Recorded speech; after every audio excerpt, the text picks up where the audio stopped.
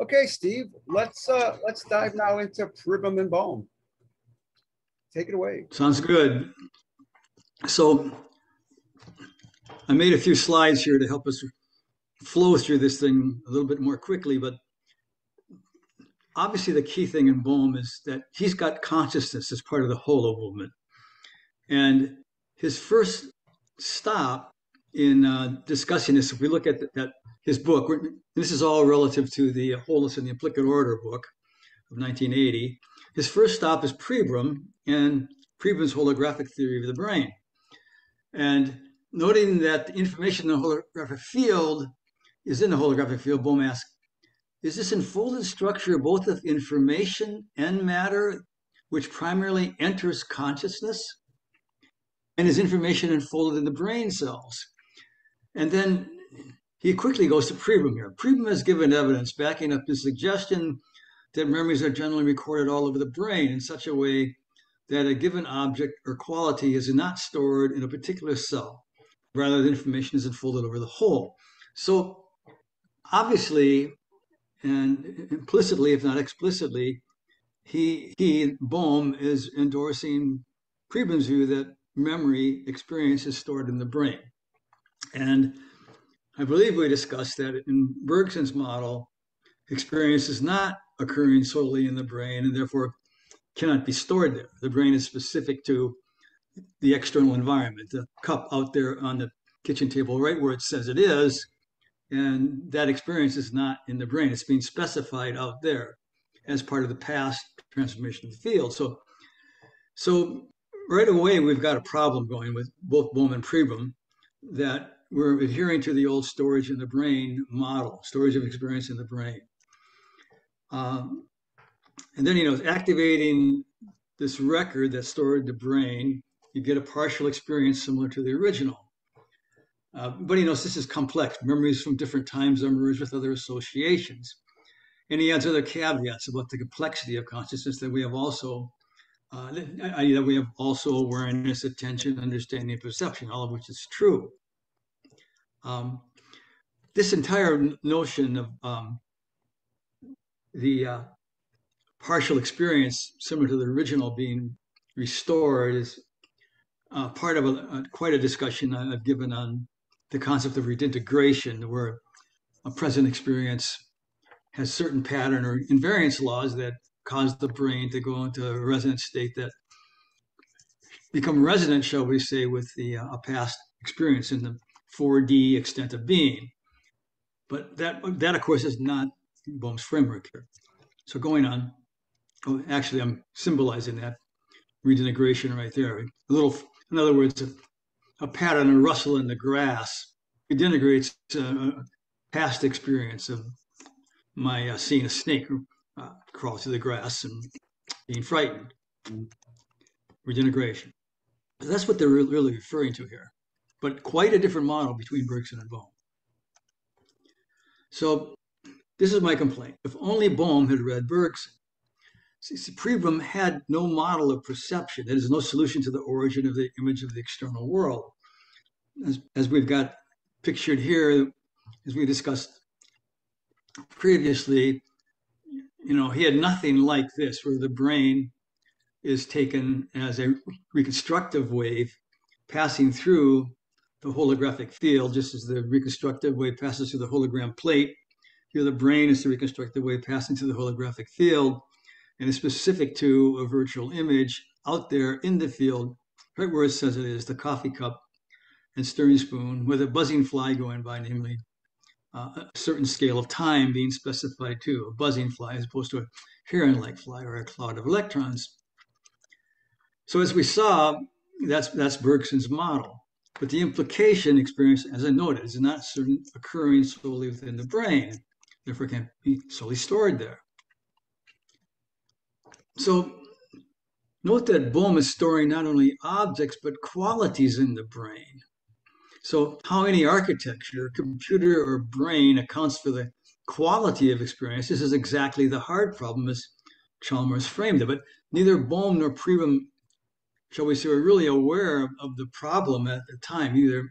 It just hadn't really filtered into people's consciousness Yeah, in 19 It didn't exist yet generally. yeah 1972 for Pribram and languages of the brain 1980 even for Bohm for wholeness and implicate order so uh, n- n- obviously then they didn't qu- get the understanding or the, as I would put it that the more general problem is how you explain the origin of the image of the external world which is just there's nothing in the external image as we noted that's not quality including all the forms the dynamically changing form.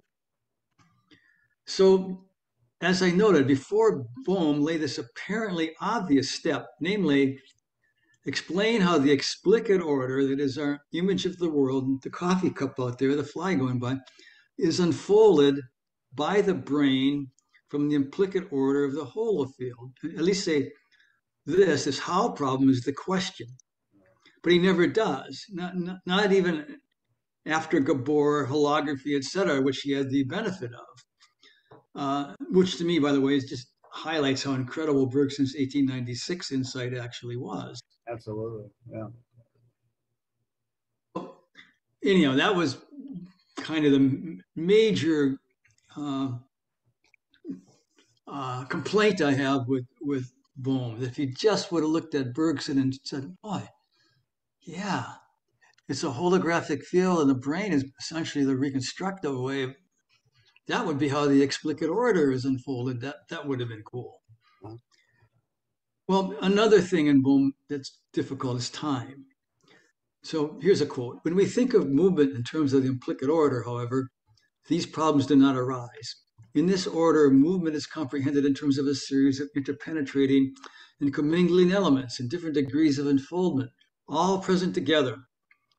The activity of this movement is an outcome of this whole enfolded order and is determined by relationships of co present elements rather than by relation, relationship of elements that exist to others that no longer exist. This, he says, allows, allows us to reconcile the abstraction with the, actual, with the actual experience of movement. We see what is movement, he says. So again, he says, rather the traditional and confused view relating what is to what is not, we are always dealing with a certain phase of what is, that is, to other such phases.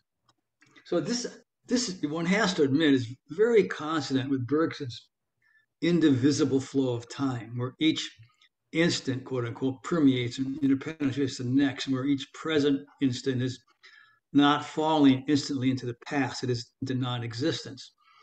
In other words, you can get this kind of co present together uh, time extent of quote unquote instance, which uh, that, that Bohm is uh, discussing, and that you don't have this notion. He's, he's decided denying that uh, you actually have instants that fall into the past, into non-existence. That is that last phrase there that exists to others that no longer exist. That is, you know, in the standard model of of uh, time, the abstract space, four-dimensional space of the classic metaphysic, as we discussed earlier, the present moment is the only moment that exists. All all previous instants have fallen into non-existence, which we symbolize by the past.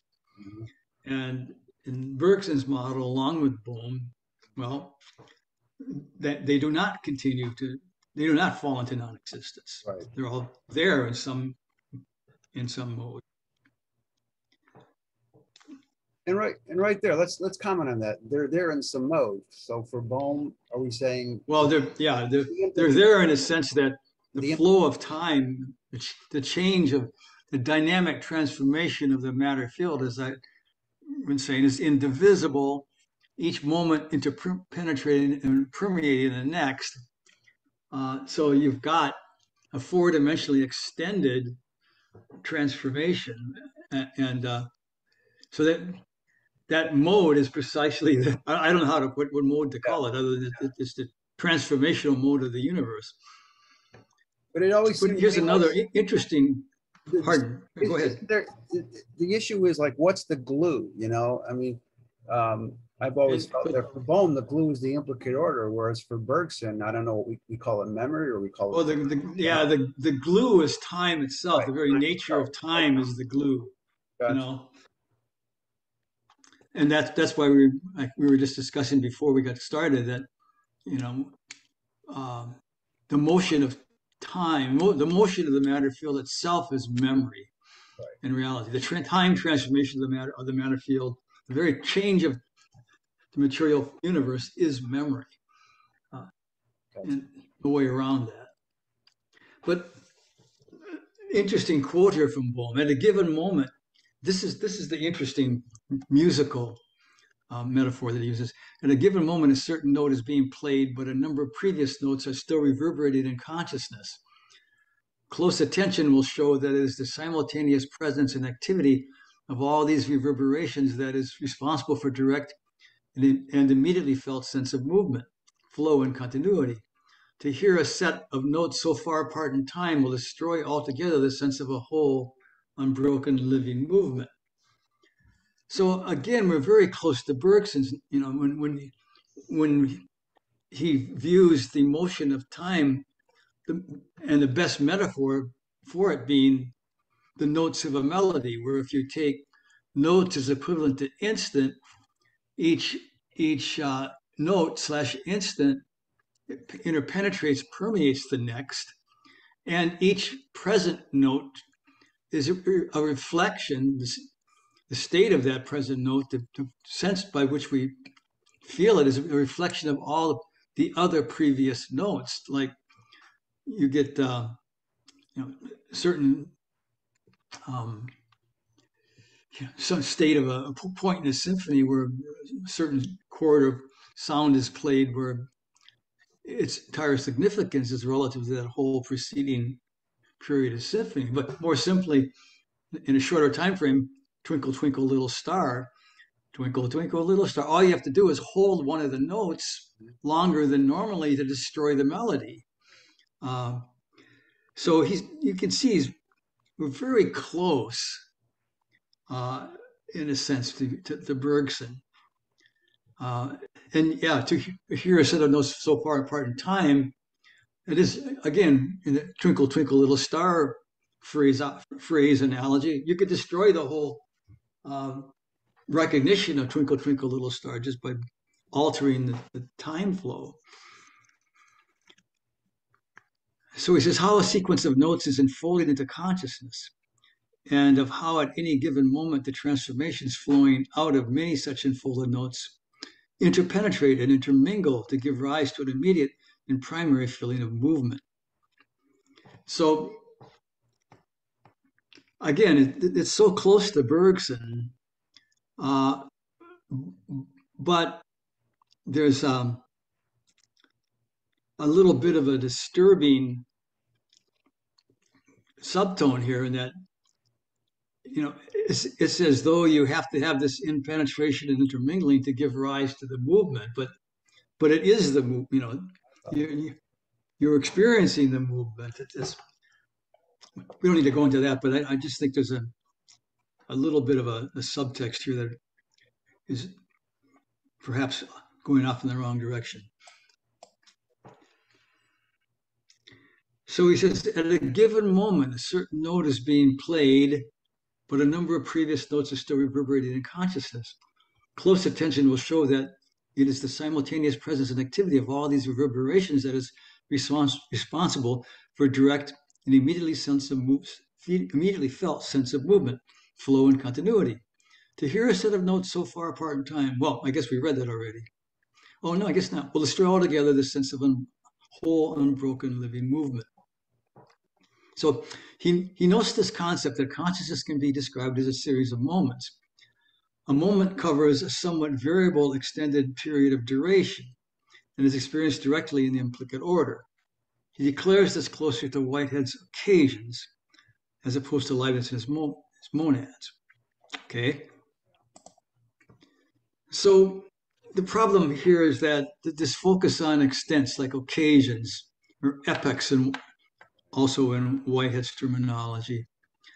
Uh, we just really don't need that notion of moments with extents when considering the say the perception of a flow field or the rotating cube being taken as a you know, series, a set of partition set of flows.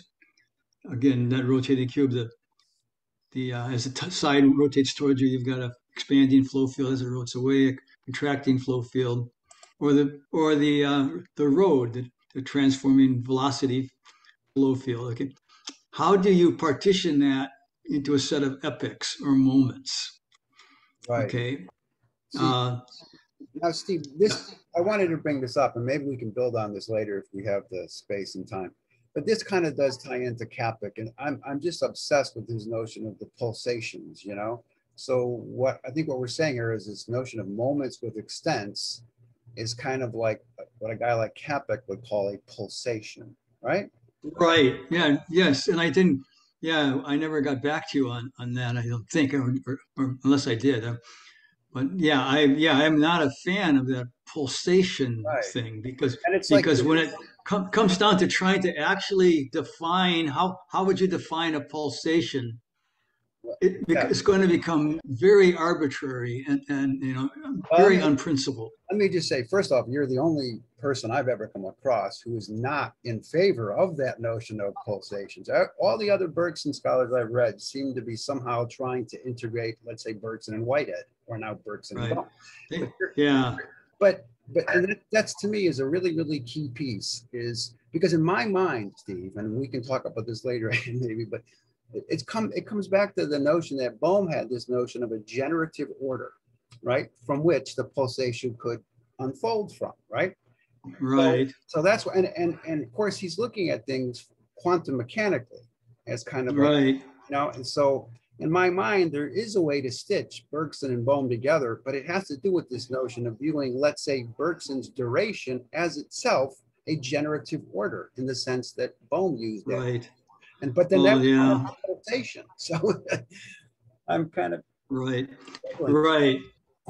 Well, yeah, we have to remember, and we're going to get there. I think I have that in the slide. With, and he's trying, he's to uh, reconcile, you know, the quantum mechanic notion of jumps, you know, which are yeah. pulsations, yeah, into a coherent notion of the motion and flow of time. yeah. Uh, and uh, yeah, it, it's a good try, and I, I thought about it for a long time too. Until I, I you know, in fact, uh, you know, Sch- Schrödinger, uh, as we'll see, the 1952 article, you know, where he says where he just denies that there are quantum jumps is Right. See, that's, extremely intellectually freeing. yeah, it is. And And, and Bohm was very, he wouldn't do that. He, he stuck to, he stuck I guess he didn't read Schrödinger's article. No, I mean, he, I, you know, in his literature, if you read the letters he's written to individuals that were published after his death, he, he did struggle with, uh, Schrodinger, just the whole, the whole thing.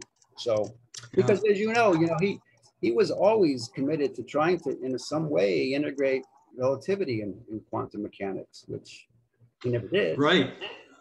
It's another problem. Yep. Anyway, Let's see what we got here. Hmm. Yeah, so I said, and from whence does the extent or extended period? So I mean, again, I'm just questioning.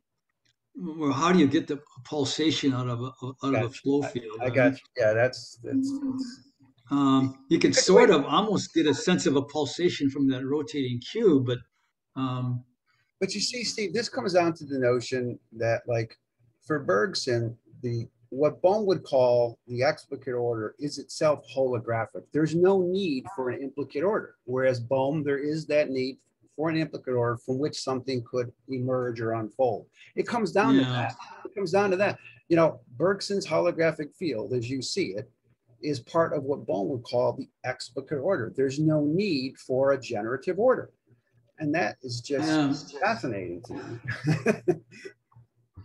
Right. It's interesting. And, and I, I think if we explored it more, I mean, the whole notion of becoming in Bergson uh, would be contrasted to how Bohm thinks the Right. universe evolves. It'd be an Right, interesting right, question. Yep. But my mind starts to boggle. Let's go on here. Well, yeah. Even, yeah, I noted even, even the discrete saccades, which seem like discrete sampling of a scene, are, are and as Burke, as Gibson points out, in actuality, it's picking up flows. Right. You know, the eye isn't picking up snapshots; it's picking up flows as a, as a it's sampling across the flow of that of that field. Yeah, we can't get rid of Homer as long as you're looking at the cube. Okay. So, and as I said, theorists love, as we just noted, love the moments, the occasions, the epochs. They're always vague, impossible to precisely define. The utility is, I've never seen a use for them. Okay, again, back to perception and Bohm um, in general, not just Pribram. Why and you know those how why and how we see rotating cubes, fluttering butterflies, falling leaves. He says it is not necessary to go into the question of how in consciousness the explicit order is what is manifest. Okay, which was my complaint. Well, why didn't you just say it's been unfolded via the reconstructive wave? So he says, noting that manifest equal that which is recurrent, stable, and separable, he goes on saying that observation and attention show, quote, the manifest content of consciousness is based essentially on memory, which is what allows content to be held in fairly constant form. Of course, to make possible such constancy, it is also necessary that this content be organized, not only through associations, but also with aid of rules of logic and basic categories of space, time, causality. In this way, an overall system of concepts and mental images may be developed, which is a more or less faithful representation of the external world. So, oh, oh, darn. Let's go back to that uh, quote. That more or less faithful representation of the external world is precisely his declaration of or vote for indirect realism. Right. We're not seeing the coffee cup out there on the table where it says it is. We've got an internal image somewhere in a mental space, a perceptual space in the brain, uh, anywhere but in the physical universe, apparently. And that's what we're seeing. Right. And and then there's other comments to make here. I hope I, I, I get to them because there's in this quote here, there's some con, uh, confusing or conflation of various sophistication of consciousness, very sophisticated sophistication or cognitive developmental levels of consciousness. I found. Obviously, I can I can perceive the coffee cup out there. Okay, then I can perceive it in such a way that I, I remember it. I, mean, I remember having uh, drunk had had a coffee with at the coffee shop with my wife a week before and precisely locate that experience in time relative to the time I'm in, which is a question of explicit memory. I can and and uh, I can re- even remember and recognize that you know Juan Valdez in Brazil has had something to do with bringing the coffee to me, but all, but that's all way beyond just the dynamic specification of the brain by, as a reconstructive way with a coffee cup out there. So he's getting way more into uh, cognition than he realizes and, and, memory. Yeah, I agree. So I'm, as I'm going to say, this is not what that quote was, it was a theory of perception. There's no actual model of unfolding the explicit from the implicit order of the holofield.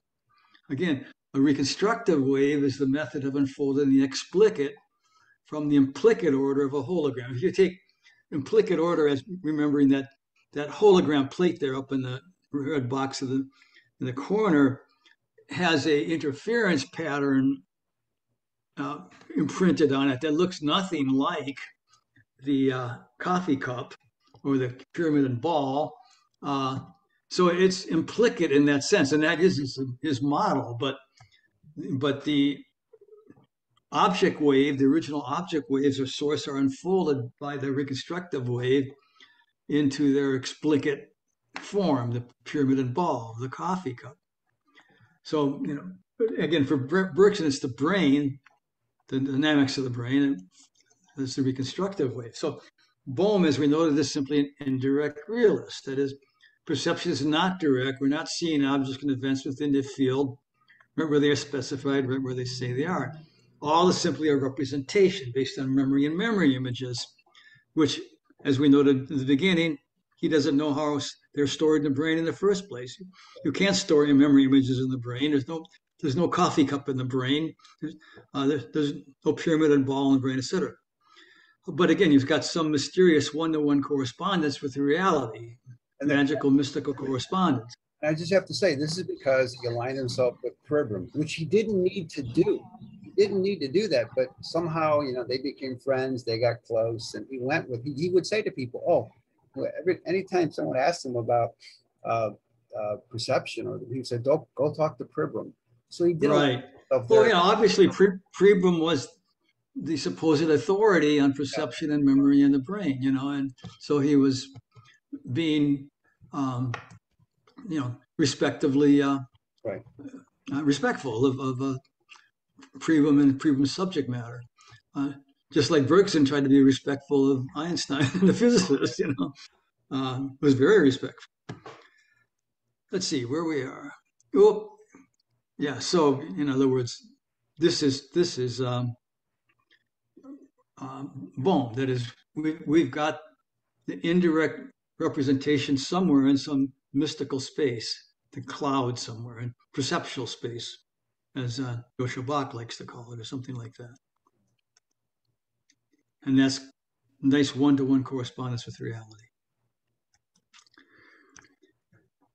So the reliance on memory images and construction of the external world is further emphasized here. One, one can in fact deduce a considerable amount of evidence showing how much of our conscious experience is a construction based on memory and organized thought. Well, that's true. You know, being a student of Piaget, um, Bohm notes that it takes a while to develop the concepts of concepts of causality, object, space, and time. I'd like to summarize it as cost. Um, and the child initially relies on sensory motor experience, the, the order being more immediate and direct. Remember the music example. So, um, all this is true, but again, you're you're you're talking as as I noted with, you know, it, in the child's case of cognitive development, you're uh, and the, the development of those concepts which take a couple years because of years, causality, object, space, and time, uh, you're you're now developing how you can see the coffee cup as an experience that's related to an experience that you had a week earlier drinking coffee with your wife in a, your favorite coffee shop. But you can locate an object or an event in the past explicitly.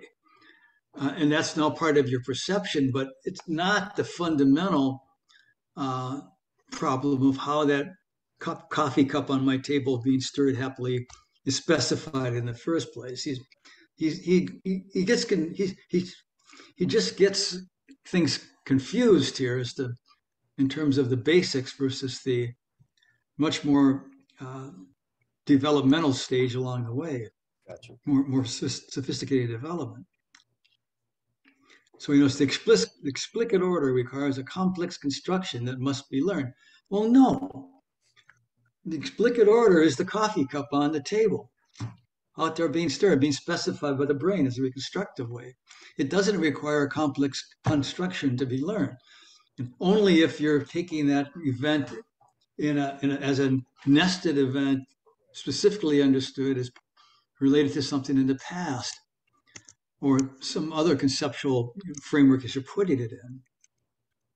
See what I you see Yeah. where I'm going with that? Yeah, Representation for him, that's what it is. right, right.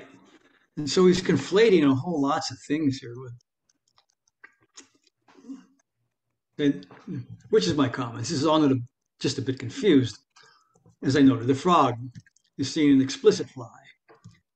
An object, an object in motion. His perception is unfolded from the holographic field. He doesn't need to spend two years learning causality, object, space, and time, you know, to see that fly. Uh, the chipmunk, same thing. He's chewing on an explicit peanut. The child is playing with, ex- with an explicit toy perceived within the holofield. You, you don't need this two years of cognitive development to do that. You need it for other things, yes. Now, Bergson certainly does not deny the role of memory in past experience, and uh, I'll say cost, causality of object space and time in present perception. But Bohm's lack of any theory of perception ends with spreading a complete mist over the fundamental problem of the origin of the external image. He's just he's just taken us into realms that are irrelevant to the initial problem, which is basically the origin of the image of the external world, unfolding that from the holofield and and uh, with all its qualia, because it's all part of the hard problem, obviously, because it's a qualitative, dynamically changing holofield that's part of which is being specified as a coffee cup or a fly buzzing by. So a little bit more, more on time, again, Bohm. He he marshals more thoughts on showing his total order of matter and consciousness. Uh, these may be fine, but the solid base is just not there. He now relates this all again to time. He begins by noting that in special relativity, time may vary according to the speed of the observer. He notes what is important is special relativity's fusion of space and time. And he says, since quantum theory implies that elements are separated in space, are elements that are separated in space are generally non-causally and non-locally projections of a higher dimensional reality, it follows that moments separated in time are also projections of this reality. So moments separated in time are also projections of this reality. So here we're going to get to this attempt to account for quantum jumps, quantum moments jumping to other quantum moments, shall we say, instant. And he, he never breaks from these mythologies of special relativity, that time may vary according to the speed of the observer. Never, never breaks from STR or uh, the notion of quantum jumps, ever. Nope. Thus, he argues time has lost its primacy. Like space, it must be considered a projection of a higher dimensional ground with many, with many orders of time. Indeed, one can further say that many such particular interrelated time orders can be derived from different sets of sequences of moments corresponding to material systems that travel at different speeds. Well, this is a problem. Time does not change as a function of velocity. This is uh, he, he, probably he needed to read Bergson's duration and simultaneity too. I know that to the, our audience, this is probably this statement is probably a jaw-dropping, flabbergasting statement that time does not change as a function of velocity, and it's a subject that uh, you know yeah, you and I wanted to go into, but I don't know if we're going to be able to. Well, I just I just want to say your, your treatment of uh, the special theory of relativity. For instance, you, you here you refer to 8A and 8B. You're referring to your YouTube lectures. 8 Right. You, you do a fabulous job critiquing uh, the mythology around relativity. So, so yeah, this. He, yeah, yeah. If he, oh. and Bohm just he needed to get through that, but he did. Actually. So further, like Bergson's transforming kaleidoscopic whole, and I think we talked about that a, a bit, you know, where Bergson said, yeah, you, our relativity, uh, one can ask, well, how, how do I know what object is in motion which, what object is at rest? Uh, but in reality, that's sort of an invalid question because you, you're identifying separate parts in the whole as though they had a reality, when in fact, it's the whole that's changing, as though we're a kaleidoscope in his metaphor. The whole is changing, and now the, the motions of objects become changes or transferences, transferences of state, you know, like waves in an ocean. In, in an ocean uh, within the whole and and so from that perspective there's real motion you know. As i noted before roses blooming mountains arising, couch potatoes getting horribly fat etc there's there's real motion in the universe.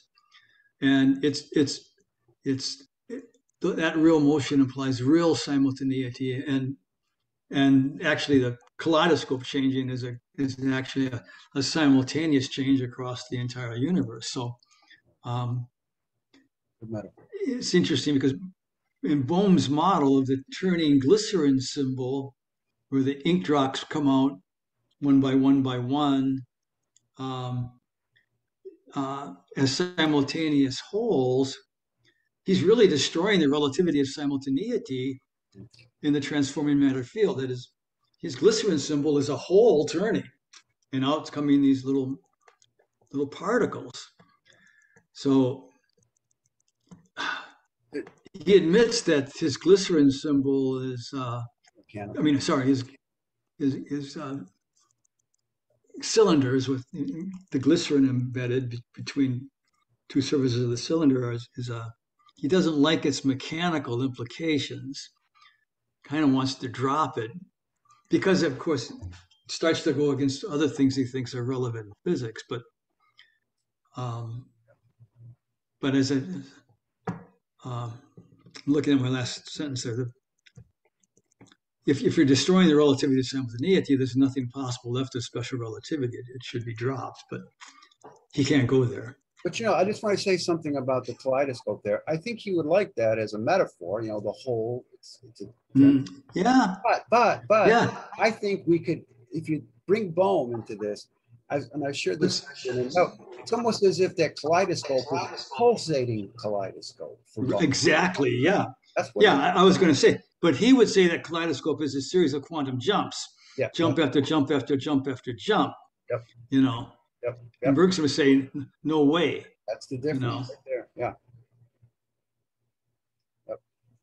You know, it's interesting though that Bergson never actually addressed the quantum jump problem, but I don't, I don't know that. And that that was around before he left the planet. You know, I think Uh, uh, in 1927 or so, Yeah, it was still hanging around. 41, yeah. yeah.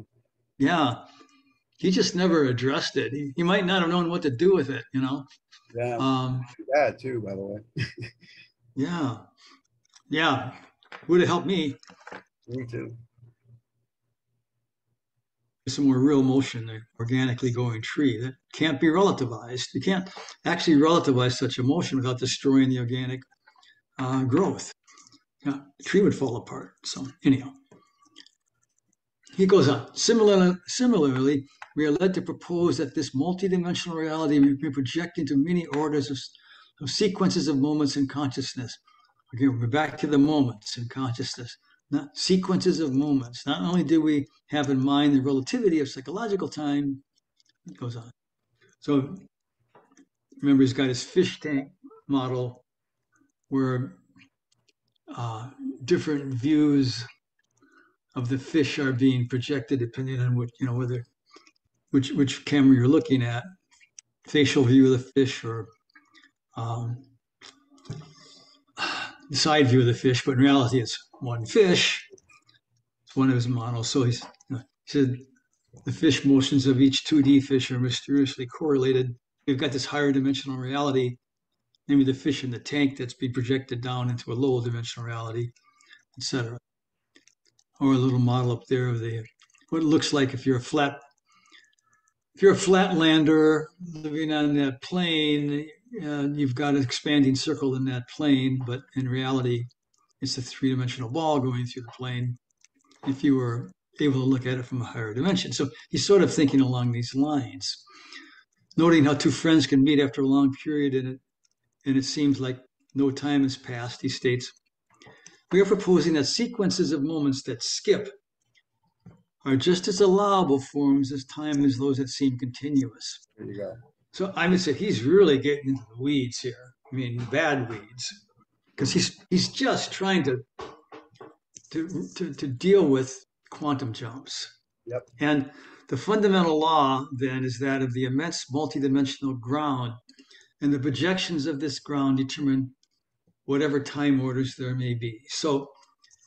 I mean, so he's visualizing this ground, which, by the way, has to be continuous. I mean, at some point you're going to, you're going to have a continuous generator of events but your continuous generator of events can can generate things as the movie uh, uh, slide or, um, what's what's movie screen after movie screen screen after snapshot after snapshot screen after screen And, and obviously, just as well. And by the way, it could it could present a picture of you when you were one, and then jump to a picture of you when you're ten. You know, and that's that's allowable too, because this higher dimensional ground can project anything it feels like at any time. So So what we're saying, okay, are we saying here that the multidimensional ground, multidimensional ground is the holomovement, right? And for him, time is in the holomovement. That's the issue with Bohm, right? For you, right. it's because. Well, yeah, but but then again, his his ground. multidimensional his multidimensional ground does that is that come and go in discrete jumps too? What's creating the discrete jumps? See, now you're back to Descartes, you know, looking at the discrete state model of time, where each instant of time would correspond to a, uh, say, a visualizing a cube of the universe. A big universe is a big cube, instantaneous cube. You have cube one, then you have cube two, then you have cube three. The problem is, you know, they're frozen cubes. You can't get from cube one to cube two unless God creates cube two. Right. Cube two disappears, but now you have to have God create cube cube, cube three. I mean, that was Descartes literally said, "Well, this is where you would need God to create the universe over and over and over again." Well, who's creating the multidimensional ground if it's if it's a discrete state multidimensional ground? I mean, you know, So, so uh, it all it all goes back to these absurdities unless as bergson said motion is primary end of story you know you're always led back to movement being the fundamental But thing that, but that's confusing to me. But so Bohm is also saying that motion is primary because for him, the holomovement Yeah. is primary. So it's, yeah but see but you see in the yeah he, he yeah but but uh yeah i guess the holomovement would be primary but um and it includes time. Time unfolds from the holomovement. So it's it's upside it's upside down with Bergson. Bergson time is primary, and for Bohm, order. Yeah. See, that's the difference. right I think right Bergson is grounded in time, and Bohm is grounded in order, and that is a fundamental difference.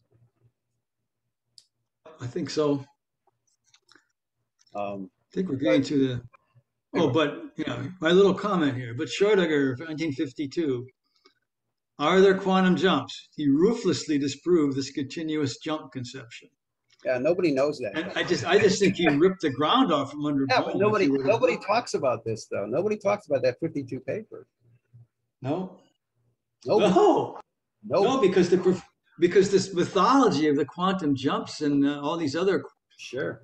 quantum thingies is so, Ingrained. mystically mysterious and fun that uh, it's interesting. Not that Bergson isn't mysti- plenty mystically mys- mysterious and fun, but uh, just a different form. Anyhow, that yeah, I um, in my videos that number sixty for anyone Right. watching, listening. Again, you, you got to get this. Where do the dimensions come from? His his cylinder is his only concrete model. He's a, a system of n particles is a th- three n dimensional reality. So if I've got four particles, three times four, I've got 12 dimensions. That's his, you know, five, I got five particles there coming out of a cylinder, but I need 15 dimensions to do that. That's quite an interesting little cylinder. Okay. Imagine the number of dimensions required for all the particles in the matter field. And what actually are these dimensions other than just plain abstract mathematics?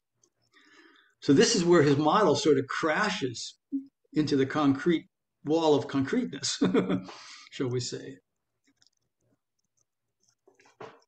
Okay. Let me go back to uh, before I do this picture. So I think that's our well, that's our that's all I had to uh, say about Bohm. Oh, okay. I think we said enough. Though. Well, yeah, we, there's a lot there. And I, I want to say that I think any scholar of Bohm or any Bohm fan needs to, for instance, watch your number 60. You just mentioned the one on Schrodinger and the quantum jumps. That's so crucial for people to understand. And then what you say about special relativity in 8A and 8B. Uh, that needs to be Right. because as you said, Bohm definitely drank the Kool-Aid with regard to special the special theory. Right. and he, and he never let go of the quantum jumps. And uh, you gave us good food for thought. Right. I, I would recommend the one I did on Whitehead too for number Oh, yeah, 53. 53. Because there you there you're looking at the notion of epochs, Yeah. or these moments, etc., and how that just starts to fall apart. And Whitehead's solution to the relativity problem, quote unquote, I say solution in quotes because it's instructive that again it uh, gets destroyed by by Bergson's analysis. So uh, and interesting, and it, that's very that's a more even succinct thing in 8A and 8B on, on relativity, if you I want that. I, I, of my and where, and where it collapses. Yeah. All right, so you want to, you want to bring this to a close for now? Yeah, we can do that. All right. Let's do that. Signing off then.